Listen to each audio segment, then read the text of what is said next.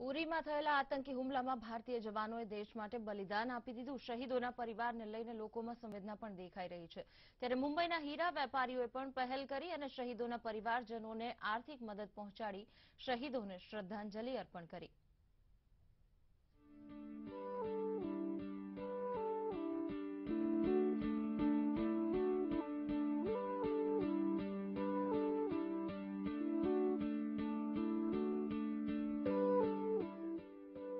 પરિવારથી દૂર રહીને માતૃભૂમિની સેવા કરતા જવાનો પ્રત્યે દેશને અભિમાન છે.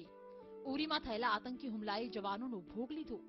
આંતરરાષ્ટ્રીય કક્ષાએ તો આ ઘટનાનો પડઘો પડ્યો, પરંતુ દેશની જનતાના માનસ પર પણ આ ઘટનાની ઘેરી અસર થઈ.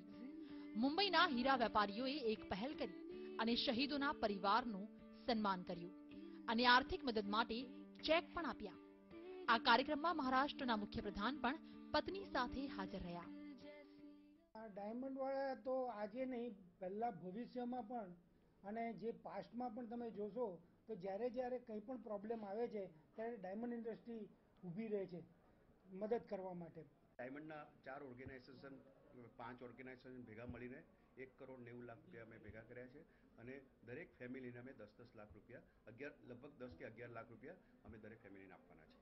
થેન્ક યુ ડાયમંડ મર્ચન્ટ એસોસિએશને શહીદોના પરિવારનું સન્માન કરીને તેમના દુઃખમાં સહભાગી થયા તો સીએમએ પણ એક એવી જાહેરાત કરી જેનાથી હીરા વેપારીઓની ચિંતા દૂર થઈ ગઈ हमने अभी कुछ चीजें आपको फ्री ऑफ एफएसआई इस प्रकार की चीजें करने के लिए अवेलेबल की है जिसमें इलेक्ट्रॉनिक इलेक्ट्रिक सबस्टेशन है इलेक्ट्रिक पैनल है सोसाइटी रूम है सिक्योरिटी रूम है अब आपके हर गेट पर आप एक सिक्योरिटी रूम तैयार कर सकते हैं उसको कवर कर सकते हैं और उसके लिए हम कोई एफएसआई आपको उसमें चार्ज नहीं होगा फ्री ऑफ एफएसआई आपको वो सारा मिलेगा ताकि आपकी सुरक्षितता जो है वो आप बढ़ा सकते हैं કાર્યક્રમમાં દેશપ્રેમ જોવા મળ્યો શહીદોના પરિવારો પણ શૌર્યની ગંભીરતા સાથે પરિવારના સભ્યને ગુમાવવાનો ગમ પણ હતો એટલે આંસુ તો ન રોકી શક્યા પરંતુ આ દેશ શહીદોની કુરબાની ક્યારેય નહીં ભૂલે રૂપા પંડ્યા સાથે bureau report ETV news Mumbai.